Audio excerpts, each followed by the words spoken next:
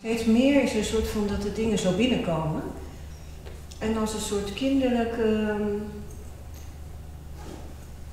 ja.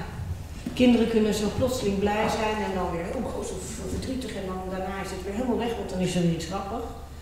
Dat, dat, die dynamiek, dat is er heel, veel. En dan, dan zit ik daar wat van natuurlijk. Het gaat over vanuit de psychologie of eh, hoe stabiel is dat. Of, eh, en als ik dat weer loslaat, dan is dat er gewoon. En dat doet niets af aan mijn functioneren of dat ik het waarneem.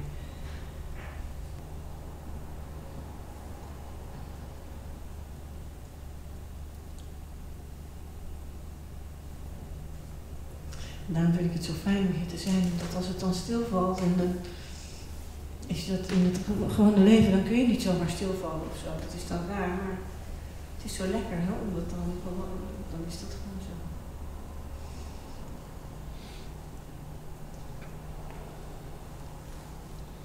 Misschien dat hoe minder we ervan vinden, hoe meer het dan een soort, een soort natuurlijke uitleiding krijgt. Of Nee. afstemming.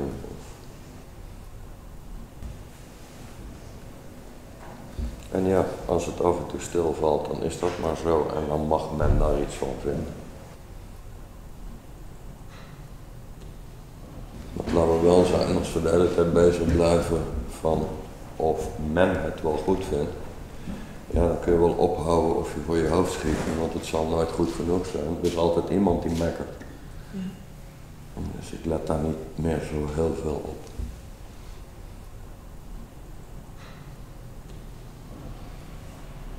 Ja, dat het in me opkomt wil niet zeggen dat ik me dus conformeer, maar het komt wel heel vaak op. Ja, verder, verder wat ik al eens eerder zei, van gewoon kijken waar het voor jezelf afgestemd voelt of overdreven. Los van wat anderen daarvan denken, maar voor, voor je eigen instrument, let's say. Weet je wel, de, de, die stemvork is belangrijker naar mijn idee dan eh, of de buren het leuk vinden of de collega's of whatever.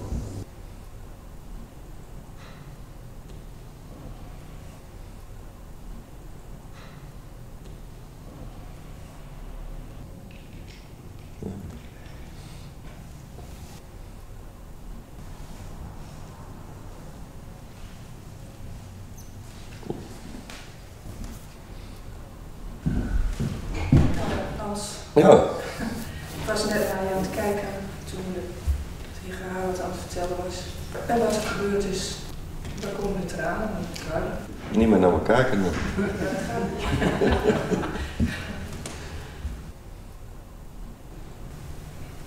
Waarom gebeurt dat? Omdat ik eh, blijkbaar eh, om te janken, om aan te zien ben. Nee, dat is het niet. Nee, er kan gewoon een soort herkenning optreden en dan is ontroering juist heel logisch. En de boel opent gewoon. Dus Dan kom je terug bij jezelf, let's say. En daar zit gewoon heel veel schoonheid in. Ja, ik zal- dank je.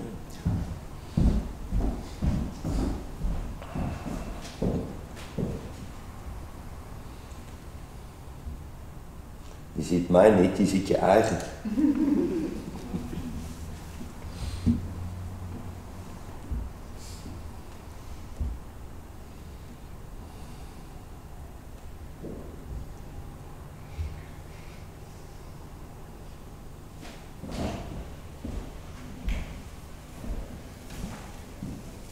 Ehm, de hele tijd komt het woord eh, gedragenheid op.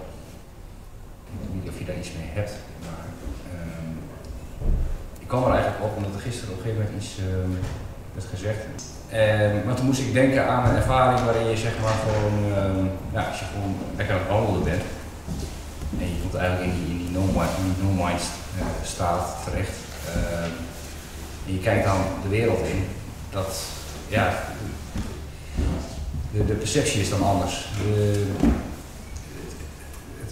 er is, is geen, geen zeg je dat? Geen, geen context of er is geen, geen label meer van oh, dit is een boom of dat is een. Het is gewoon de wereld. Mhm. Ehm, Maar daarin merk je ook dat als je daar doorheen wandelt op die manier, dat je, dat je eigenlijk als het ware ehm, jezelf ook ziet, ziet wandelen, zeg maar. En, en dan, dan voel je je eigenlijk als het ware gedragen. Is dat, Ja, dat, is, dat is een term. ja, dat ook? Dan word je gedragen in jezelf, door jezelf eigenlijk. Ja. En dat is dus een gevoelssensatie die op kan treden als die afgescheidenheid oplost. Mhm.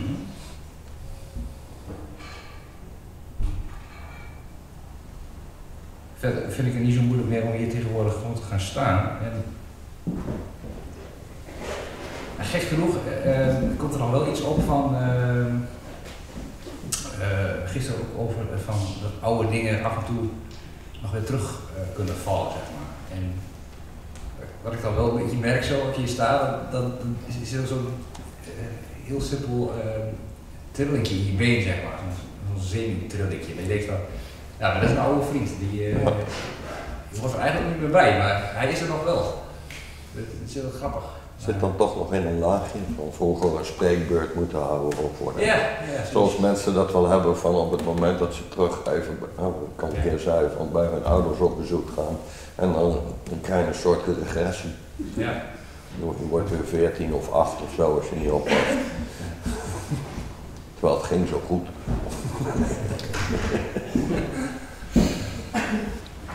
En toch, de geest die wil er toch van af nog steeds. Ja, omdat we allemaal een beetje een perfectiesyndroom hebben. ja. Dat we dan denken van als we het begrepen hebben, dan ben ik nooit meer zenuwachtig of niet meer te triggeren of te ontroeren of weet ik veel wat. Ja, uiteraard. De verhouding ertoe is anders. Maar sensaties komen gewoon op naar gelang wat er nog in dat eh, geprogrammeerde dingetje zit. Dat is oké. Sterker nog, het geeft de boel ook een beetje kleur en, en het houdt ons een beetje nederig. Vandaar dat ik vaak zeg dat we aangeklede apen zijn. Of we nou wakker zijn of niet. You're still a monkey. We're still human after all. Ja, sure. Alleen in het ene geval wordt er heel sterk nee tegen van alles gezegd. In het andere is er meer een ja. Ja, zo ben ik ook.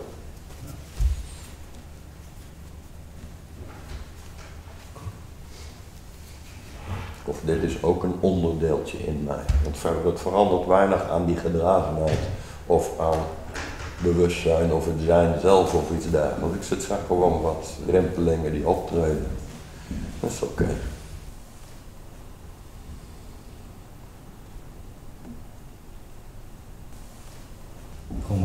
Maar lekker laten uh, zijn voor wat. Eh, Ja, nou, je mag er ook mee vechten, dat is, ook prima. Nou, hij is inmiddels al weg, dus. het is- Ja, nee, dat bedoel ik, weet je wel. Maar meestal houdt het toch geen stand. Dus. ja. Zitten, Cecile. Ja, ik zie niks van op video.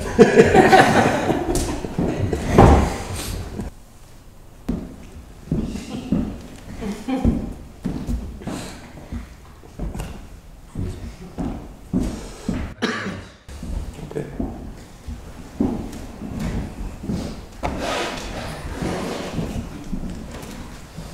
Bedankt voor die mooie inleiding. Ehm, er kwam voor mij wat op het gebied van eh, verlangen en weerstand. Kaderen van gisteren. En ehm, ehm, vooral verlangen en het, en het gebrek eigenlijk aan verlangen wat ik heb. eh, al een poosje. Ehm, er was, laten we zeggen, vroeger heel veel verlangen naar meer. En vervolgens eh, het spirituele pad eh, een verlangen heel sterk naar minder. En toen ik jou ontdekte, ehm, nou, bleef ik een soort van over uiteindelijk met niks. En, ehm, en daar voel ik een wel weerstand tegen. Dus nu een soort van weerstand ook tegen dat gebrek aan verlangen. En ik heb dat op zitten schrijven. En toen kwam ik erachter dat ehm, als die weerstand tegen dat verlangen zijn volgens mij gewoon bewegingen van hetzelfde ik-figuur Ja. eh, die iets te doen wil hebben. Ehm, dezelfde weerstand eigenlijk die ik voel om hier mijn mond open te doen. Eh, en hetzelfde verlangen. Ehm, en wat mij binnenviel was dat weerstand en verlangen misschien wel een soort van, het lijkt een soort van twee kanten van dezelfde medaille. Mhm. Sure. Een beetje jij. Je zou, je zou zelfs kunnen zeggen dat weerstand verlangen is. Want als ik weerstand heb tegen het gekwebbel van anderen, verlang ik eigenlijk naar stilte. Ja, wat mooi ja. Ja, ik, eh, toen ik dat inzag, eh, dat weerstand net zo goed eh, ego is en, en verlangen ook. Uh, toen dacht ik, nou, oké, dan kunnen we beter maar gewoon stilvallen. En, eh, Ja, en, en dan hou je gewoon op een gegeven moment over op wat, wat het hele systeem werkelijk wil of verlangt. sorry, nog. Dan hou je over wat het hele systeem werkelijk wil of verlangt op een x-moment, in plaats van dat het komt uit een gedachte van een ambitiezus of zo, weet je wel. Ja. Dus verlangen houdt niet op, alleen het wordt veel eenvoudiger van aard.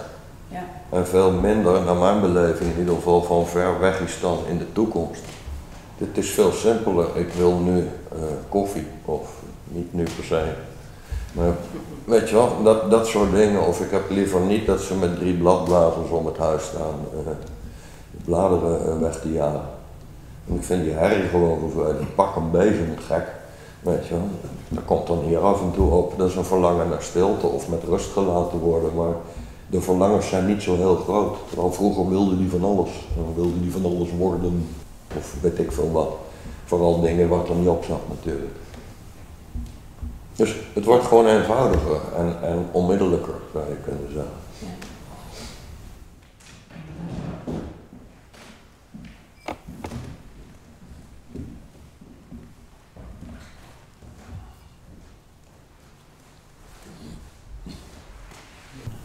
Zou je even terug kunnen eh,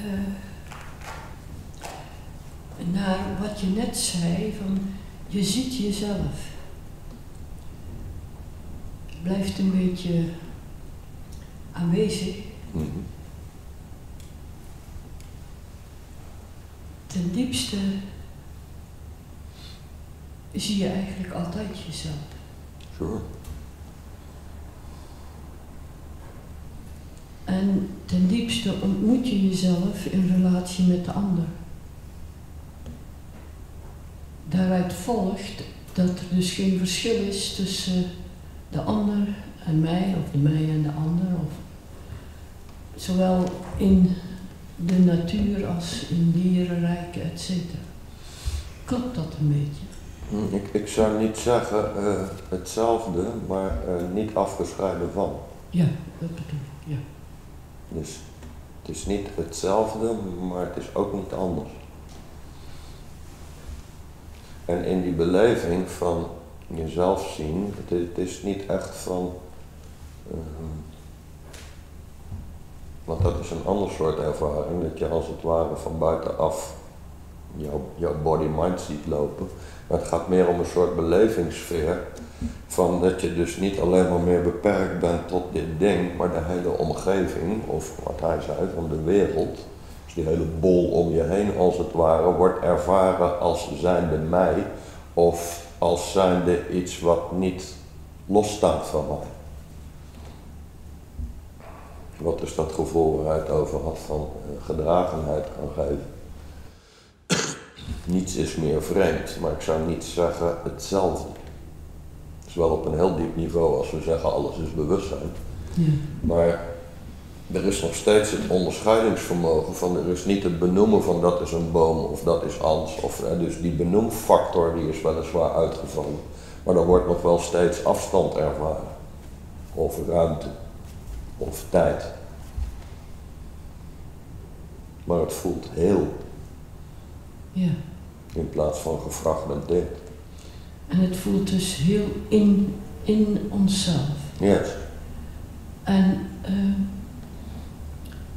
het komt een beetje omhoog van eh, dat het in onszelf ligt.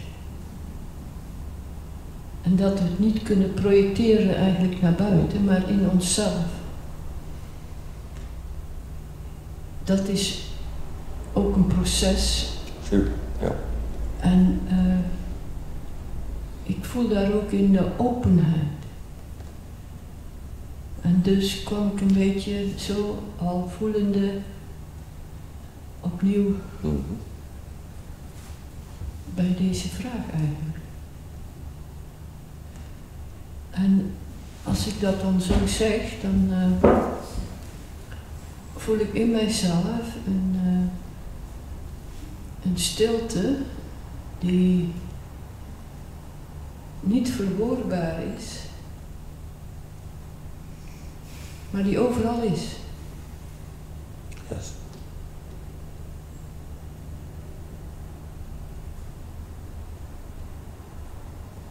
En dat is tevens ook in ieder van ons en in Ja. mijzelf. Yes, dus in onszelf en op ons heen. Ja. Yes. En dus zou je kunnen zeggen, het is de totaliteit dat stil is. En dan zou je kunnen zeggen ook nog, het is onze diepste waarheid. Mhm. Sure. En op het moment dat we daar bevattelijk voor worden, is er meteen zo'n contentheid. Ja. Het is goed. Dit fysieke lichaam zakt dan ook veel meer in.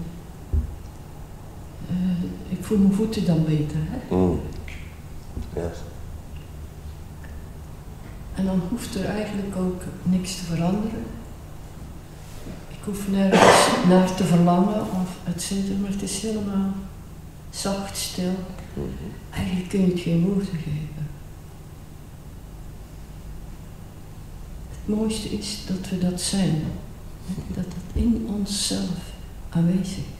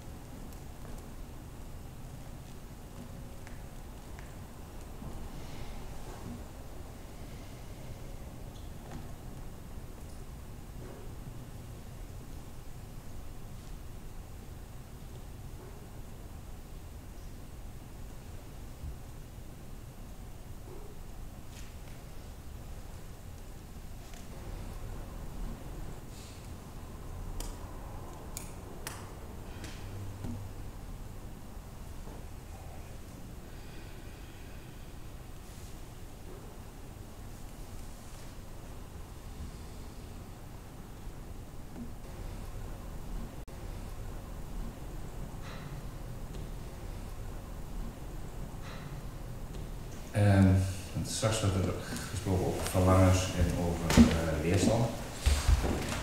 Ehm, de grap is als je hier staat, heb je vaak de neiging om nou ja, te zeggen wat je te zeggen hebt en dan eigenlijk ook vrij snel weer weg. Ehm, maar als je daar zit en het is stil, dan is er vaak op een gegeven moment een neiging van ja, oh, er moet wel een keer wat gezegd worden, anders gaat Hans weg. Mm. Dus dat is eigenlijk heel gek, toch? Dat klopt niet, hè? Nou ja. Ja, of je daar iets mee kan. Zal ik eens over nadenken. Rustig over na. Dan ga ik Ik weet nog niet of, of de stukjes waar iets gezegd wordt of waar niets gezegd wordt, welke van de twee mij het meest bevallen. Hmm. Nee. Bevalt ook wel heel goed. Daar niet van. Maar toch is er ergens zo'n belletje die zegt. Ja, ik heb hier wel eens eh, tegenwoordig met, eh, met, als je ergens op een verjaardag zit of iets dergelijks. En uh, al een oude gezegden, als het stilvalt, De dominee, de, dominee komt langs. Ja, precies. Zo irritant. Oh, nog even je smoel voor vijf minuten. Dat is zo'n conditionering, maar dan meer een sociale. Van, Ja. Er mogen geen, geen stiltes vallen, want dan is het niet goed. Het is Ja. alleen leuk als er de hele tijd gekwabbeld wordt. Precies. Gelukkig geldt dat hier niet. Nee, dus excuses dat ik iets.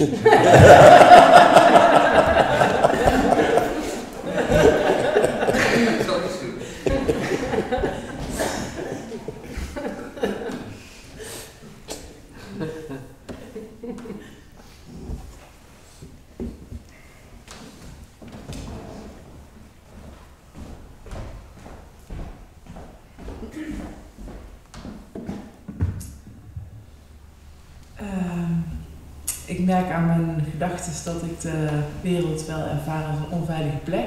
Ja.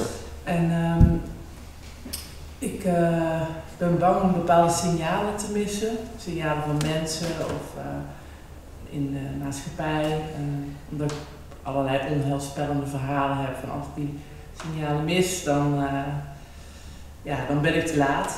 Voor wat? Ja, nou bijvoorbeeld bij mensen heb ik het heel erg dat ik het idee heb dat ik me goed moet opletten. Dus ik ben hyperalert op signalen eh, dat ik misschien niet aardig gevonden word of dat ik er niet bij hoor. En, en ik, nou ja, weet dat dat komt door een onveilige hechting uit het verleden. En, eh, ehm, en nou ja, in de maatschappij heb ik het dan heel erg. Ik ben onderne- ondernemer en ik heb het idee dat ik echt altijd genoeg moet verdienen. Dat dat me veiligheid geeft. En daar Ja. het vorige keer ook al over. Ja. Ja, daar En de hang naar veiligheid vraagt om nog meer veiligheid. Ja. Ja, er Dat zijn is nooit heel, genoeg. ja, het is, en er zitten allerlei variaties op en zo. En het heeft gewoon met vertrouwen te maken. Dus vertrouwen in. Nee, het heeft met wantrouwen te maken. Vertrouwen is een oorlogsterm. Ik heb helemaal nergens vertrouwen in, ik ben gewoon. Het is niet dat ik meer vertrouwen heb dan vroeger, ik heb minder wantrouwen. Hmm, Ik ben realist geworden. Dus ik heb geen vertrouwen nodig. ja, er is altijd het idee dat ik, ehm, dat ik, dat ik altijd te laat zal zijn met eh, goed kijken. Ja, precies, dat is wantrouwen. Ja, En dat los je niet op door een toverwoord als vertrouwen te gaan invoeren. Ik moet meer vertrouwen krijgen. Nee, degene die dat zegt, die geeft daarmee aan dat hij de boel wantrouwt. Je moet naar de wantrouwen kijken, niet naar de overkant proberen te verhuizen. Het probleem is het wantrouwen, niet vertrouwen. Hmm. ja en dan? Dan kijk je naar het wantrouwen en dan? Ja, gewoon feel it, look at it. Bestudeer het, heb er interesse in. Alleen, daar heb je waarschijnlijk geen tijd voor, want je moet te veel in de gaten houden Ja. en te veel geld verdienen. Ja, nou, ik kom hier al een poosje. Ik ben al heel veel aan het schrijven geweest. Oké, nou goed. Dus heb er interesse in. Maar, maar wat wij dus meestal doen, en dat noemen we zeg maar eh, moving away from the problem, dus het probleem uit de weg gaan. Dus iemand heeft een, eh, een onveiligheidsissue, dan, gaat, dan verhuist hij en dan gaat hij op zoek naar veiligheid. Maar het probleem was onveiligheid, niet veiligheid. Daar moet je zijn.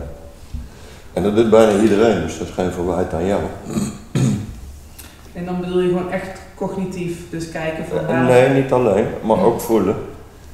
Het gewoon voelen, want wat we de hele tijd proberen te doen met al die strategietjes, is bij het gevoel van onveiligheid of wantrouwen uit de buurt te blijven. It doesn't work. Maar als ik er doorheen kan zakken, als het ware, of kan gaan zien dat er een spanning kan zijn, maar dat dat nog geen angst is. Of dat ik een beetje onzeker ben, maar dat het nog geen full-out wantrouwen is. Dan kunnen daar dingen in gaan draaien. Maar als ik de hele tijd op zoek ben naar het tegendeel van wat het probleem is, dan leer ik niks over het probleem. En dan zit ik eigenlijk een illusie eh, na te.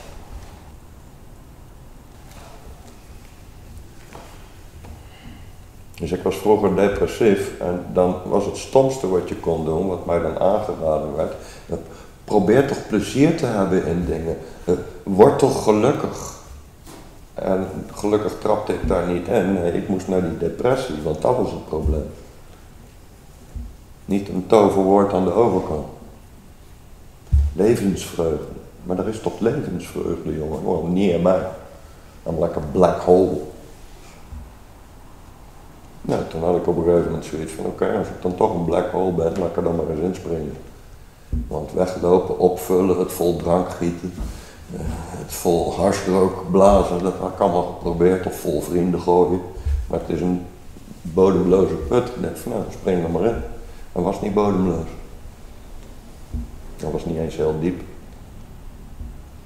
Het leek heel diep omdat ik zo oppervlakkig was. Kan je dan iets zeggen over, over hoe, dat dan, hoe je dat doet? Hoe ga je daar naartoe?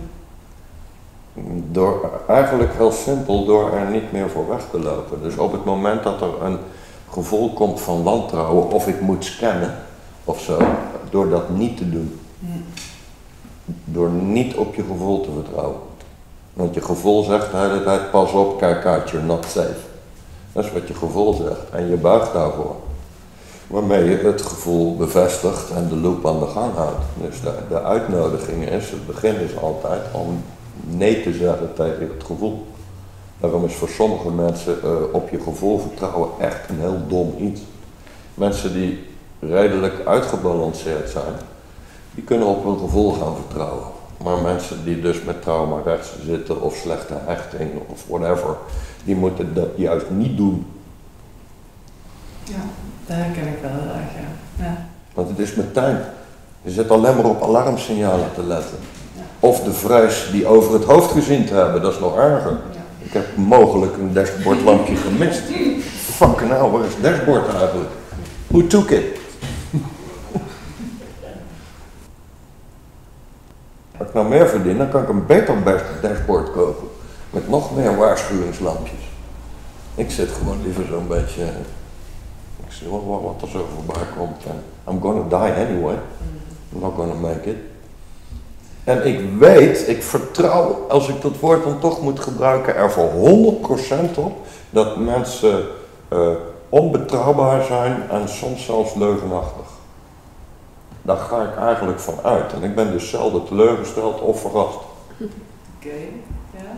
Van ja, dan ligt er eens iemand. Tjonge, jongen, wat een wonder. Door mensen dacht ik iets van 80 keer per dag. Weet je wel, van kleintjes tot grotere. What a surprise. Dat we zo verbaasd zijn als een ander een keer ligt. Like, like we never do. Ik vind dat wel geestig. En dan denk ik van, oh, ik vertrouwde er alweer op dat wat iemand zei waar was. Is dat de fout van de ander? Ja, ja, ja er zit denk ik een soort van niet gekwetst willen worden of die persoon niet het willen worden of zo onder, maar... Uh... Nou, kijk, ik wil dat ook niet per se. Maar ik vind het zo langzamerhand naïef na 160 jaar op deze planeet hebben rondgelopen. Uh, dat je dan nog geschokt zou zijn als iemand je een keer een oor aanmaakt. En wat dan nog? Oren zat. Maar het kernpunt is dus dat als we dit willen onderzoeken, moeten we er natuurlijk niet er vandaan. Ja. En dat hoef je niet de hele tijd te doen en dat zal ook niet kunnen, want die programmering, die conditionering is sterk om wel op te letten en in te dekken en daar die daar. Maar we kunnen wel momenten nemen door de dag heen of gewoon in een concrete situatie van nu ga ik niet mijn primaire reactie volgen. Ik zeg er gewoon nee tegen, net als tegen een hond hier blijven. Een hond die iedere keer maar uit angst aanvalt, zou ik maar zeggen. Een riem wil wel eens helpen. Nee. Dan gewoon kijken wat er gebeurt. Want ik ben ervan overtuigd dat dit slecht gaat aflopen. Oké, cool. Dat noteer ik even. Dat is wat mijn ego zegt. Thank you voor deze wijsheid. Dan ga ik kijken wat er feitelijk gebeurt. Dan begint er een kans in ieder geval om beweging in te komen. En dan kijken wat er werkelijk gebeurt. Ja. Zonder iets te doen. Yes. Nou, in ieder geval niet te doen wat, wat mijn standaard strategie is. Ja. Nou, morgen doen we maar even pauze.